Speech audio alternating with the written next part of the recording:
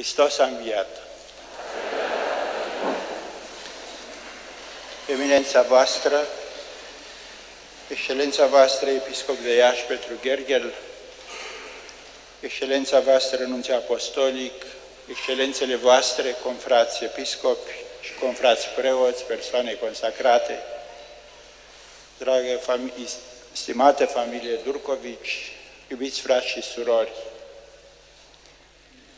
participăm împreună la o liturghie sfântă de recunoștință pentru darul pe care Dumnezeu l-a făcut bisericii noastre locale, bisericii din România, prin ridicarea la treptele altarului a unui episcop care a trăit și în Arhideceza de București și în cea de Iași. Și în această atmosferă de mulțumire, de recunoștință față de Dumnezeu, nu putem să nu privim din nou la chipul celui pe care îl considerăm de ieri ca fiind martir și fericit în rândul fericiților din ceruri. Și învățăm de ieri, de acum înainte, nu numai să adăugăm ceva în evlavia noastră și în rândul mijlocitorilor noștri pe cineva, dar poate mai avem să învățăm ceva. Ascultând Evanghelia de astăzi, în care Iisus spune, eu sunt calea, adevărul și viața, mă gândeam de câte ori nu va fi meditat episcopul Durcovici aceste cuvinte, pentru că în momentul în care a simțit că se apropie furtuna comunistă, el a început să-și pregătească poporul, atât la București cât și la Iași. La București, în 1946, începe să predea niște conferințe unor laici în uh, Casa Arhiepiscopiei. Începe aceste conferințe cu gândul de a intensifica opera de catehizare, fără să spună de ce, dar o face pur și simplu gândindu-se ca să lase imprimată în conștiința credincioșilor, a preoților și a laicilor această convingere că nu există alt drum decât acela exprimat de cuvintele Mântuitorului, eu sunt calea, adevărul și viața. Mai târziu, când vine în dieceza de Iași, începe să cutreiere parohiile pentru a arăta conținutul aceluiași cuvânt. Eu sunt calea, adevărul și viața. Într-una din parohii îi pune pe copii să jure de-a dreptul că nu vor lăsa niciodată Biserica Catolică și pe conducătorul ei, pe Sfântul Părinte Papa. În alt loc le spune, puteți pierde totul, dar să nu vă pierdeți credința. Și așa continuă cu astfel de îndemnuri în toate parohiile, ca să lase pentru totdeauna imprimat în conștiința credincioșilor că oricine le-ar spune altceva, că oricum ar fi formulată propaganda comunistă, să nu părăsească credința catolică, să nu se îndepărteze de, comun de comuniunea cu Sfântul Părinte Papa și să rămână uniți în jurul altarului. Pe preoți îi îndeamnă să predice credincioșilor Evlavia față de Sfânta Fecioară Maria. Și mai ales recomandă Evlavia din luna mai și suntem și noi, iată, în luna mai. Recomandă această Evlavie ca fiind una care conduce la Hristos și care conduce tocmai pe urmele Mântuitorului, calea, adevărul și viața. Le cere preoților ca ei să fie exemple de evlavie față de Maica Domnului și să organizeze în așa fel întâlnirile de la vecerniile de seară în mod deosebit, încât recitarea rozariului să fie o practică obișnuită și constantă. Organizează apoi ca în parohii să se țină cateheze și predici despre persoana Tatălui răscumpărător, Creator, a Fiului răscumpărător și a Duhului Sfânt Sfințitor. De fapt, este schema crezului, pe care la fel vrea să o imprime în comunitățile catolice ca să nu-și piardă în niciun fel identitatea.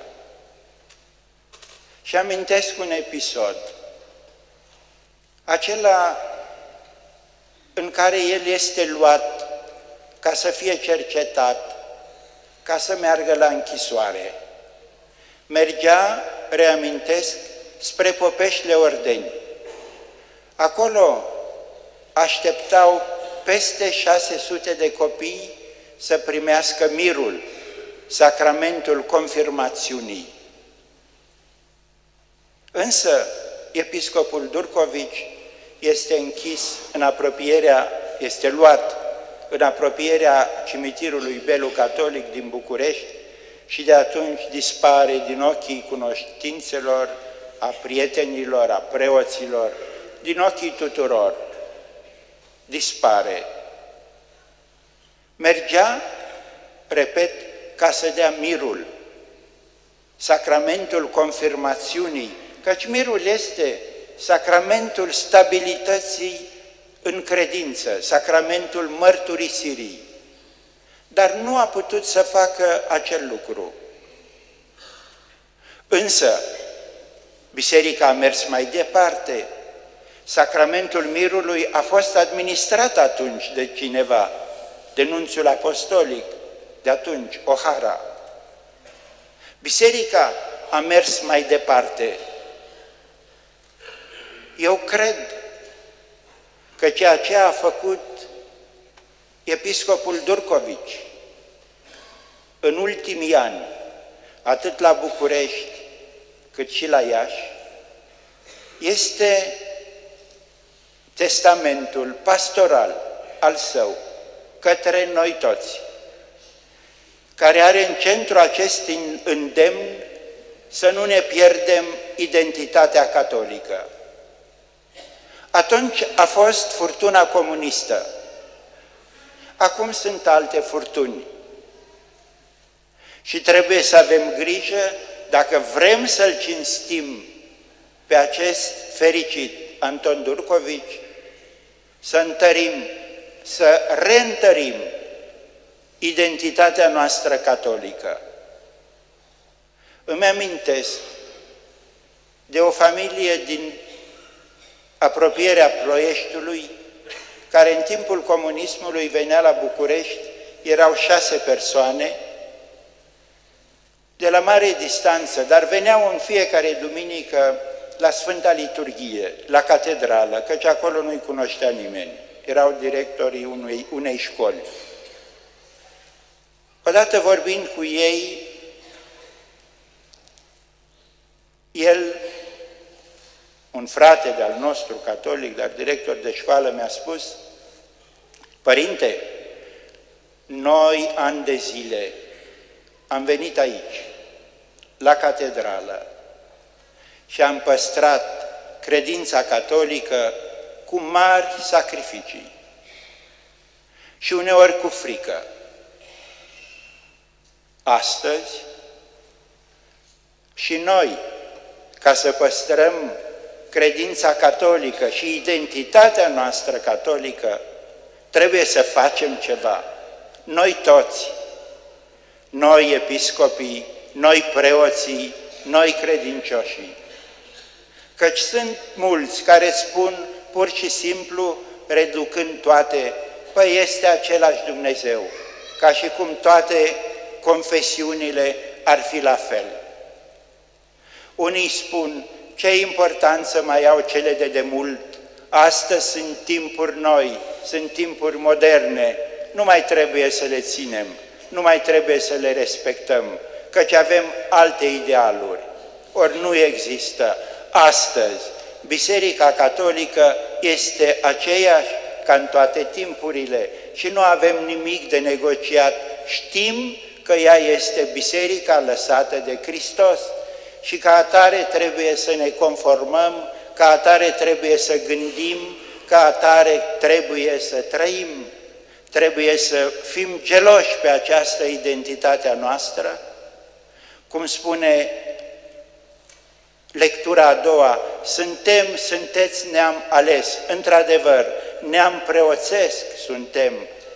Și suntem în biserica pe care Hristos a voit-o și să o prețuim și să prețuim identitatea noastră catolică. O identitate legată de Sfântul Părinte Papa, de comuniunea cu El și cu întreaga biserică, o identitate legată de cinstea pe care o dăm Euharistiei și Sfintei Scripturi, lucru pe care adesea l-a accentuat episcopul Durcovici, de evlavia noastră față de Maica Domnului, de participarea la Sfintele Sacramente, la Sfânta Liturghie, în duminici și sărbători și să nu pierdem niciodată conștiința noastră catolică pe care trebuie părinții să o dea mai departe copiilor și copiii copiilor lor, ca să rămânem ceea ce suntem. În 1948, 49, 50, catolicii din Moldova erau puțin peste 100 de mii, astăzi sunt mai mult de 200 de mii. Dacă nu era această acțiune de pregătire a comunităților noastre de către episcopul Durcovici, nu știu, nu-mi imaginez astăzi cum ar fi fost comunitățile noastre de credință și din Moldova și din Arhideceza de București. De aceea spun, testamentul său pastoral trebuie să-l cinstim și să-l ținem în continuare, căci el ne îndreaptă spre identitatea noastră catolică și totodată spre ceea ce Evanghelia de azi ne-a spus, în cuvintele lui Isus, eu sunt calea, adevărul și viața. Și cu aceasta închei, vă las, continuăm mai departe Sfânta Liturghie. Hristos a înviat!